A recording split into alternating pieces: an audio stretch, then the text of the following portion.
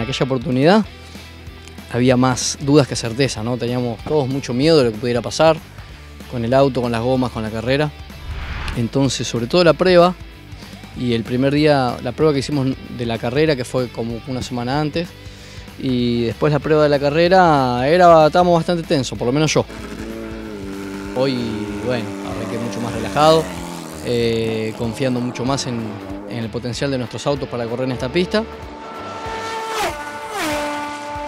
En el tracción delantera, eh, el auto con el, mismo, con el mismo tren de gomas, con las dos ruedas delanteras, eh, dobla y tracciona. En cambio, en el auto de tracción trasera, eh, con el tren delantero dobla y con el tren trasero tracciona, acelera. ¿no? Entonces, como que divide muchísimo más el castigo que se le da a la goma, lo reparte.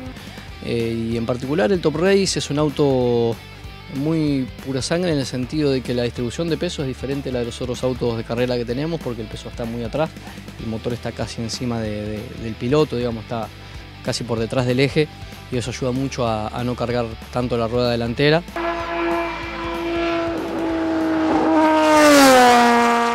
Verdad que sí, es un gran desafío el autódromo y para nosotros también. La verdad que, bueno, probamos con diferentes puestas a punto, diferentes combas también y presiones y la verdad que tuvimos muy buenos resultados. Obviamente prestando particular atención al delantero derecho, que vimos que después de cierto tiempo de, correr, eh, si bien aumentaron obviamente los valores de presión y temperatura, se mantuvo estable, que eso es muy importante. ¿El neumático que se está utilizando es el que utiliza hoy en día el Top Race? Sí, sí, es el mismo, mismo compuesto, misma estructura que usa el Top Race, así que eso también es bastante positivo. Emiliano, la verdad que excelente, brindándonos todos los detalles de lo que fue sintiendo a lo largo del recorrido, así que eh, muy contentos. Se probó un compuesto distinto, aparte del, del, que usamos habitualmente, pero el que usamos habitualmente se comportó en perfectas condiciones. La verdad que estamos muy satisfechos. No podemos dar ninguna definición de lo que se puede llegar a seguir porque no tenemos la información de los ingenieros eh, que seguramente van a analizarlo en los próximos días.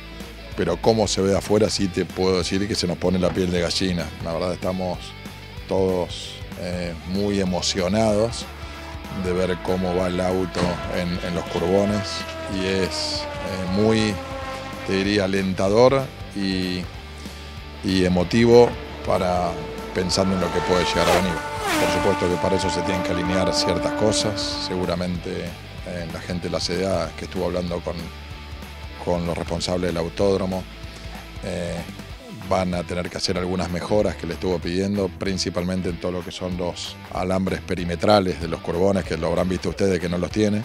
Vamos a hacer fuerza para poder ver lo que todos soñamos y lo, todos tenemos ganas, que, que es correr en el oval.